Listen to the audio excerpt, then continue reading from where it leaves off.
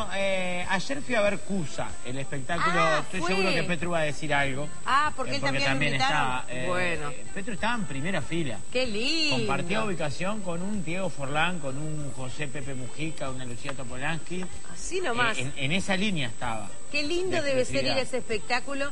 Yo sé que ayer, eh, eh, antes de ayer, fueron los niños de la escuela 230, eh, de la escuela pública 230, porque, bueno, porque ese predio es un predio que se va a convertir en escuela.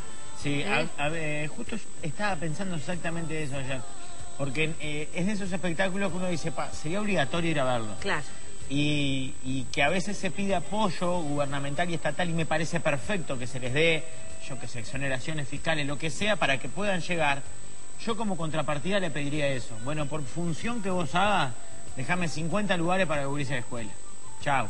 Porque yo llevé a mis hijas y... Y lo disfrutaron. Ah, sí, sí, sí. Es, es hermoso. Pero ahora vamos a conversarlo con Petru seguramente. Bueno, la verdad es que para el Uruguay, con los antecedentes de circo que hemos tenido históricamente, yo creo que es un espectáculo que además reúne atractivo para todas las edades. claro. Porque para los niños habrá determinadas maravillas, pero para los grandes y aún para los más veteranos, que tenían en el circo de alguna manera ese punto de referencia que llegaba cada tanto a, a cambiarle los colores y, y la alegría al, al pueblo, me parece que también debe ser muy atractivo. Sí, porque aparte, obviamente, ¿no? Vamos a reconocer acá lo que es el- el- la compañía Y la compañía, el nivel de los espectáculos.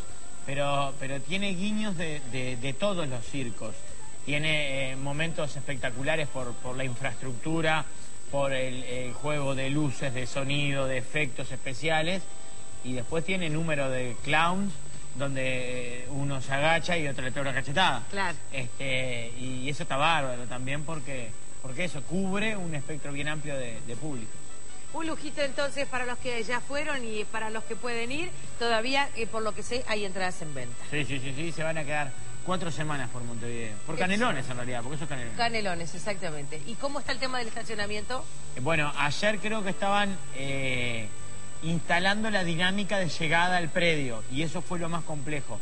Pero el estacionamiento es amplísimo, es enorme y cuando le agarren bien la mano va a ser muy fácil y muy cómodo de llegar. Así que felicitaciones. No nos quejemos, había gente que se quejaba ayer. Yo estamos viendo el Cirque du Soleil, no nos quejemos porque demoramos cinco minutos más por estacionar, por favor. Bien, perfecto. Mirá, justito pega en el clavo. Vamos al móvil. claro que sí. A ver, a ver si es Petru o es Doris. Eh, creo que hoy era Petru, Ah. pero no sé. Vamos sí, está móvil. bien, porque vino Doris ayer. ¿Sabes? Es una presentación de Sapolio, la línea más completa para la limpieza y protección de tu hogar, cuidando tu economía. Y de escoba ideal, barré con alegría, limpia todos los rincones de tu vida. www.pedromerla.com Buen día, Petru. Bueno, muy pero. Buen día, Mariné, Rafita, Ana, todos ahí en el piso, en el estudio, en control. La verdad que los estaba escuchando, es una maravilla.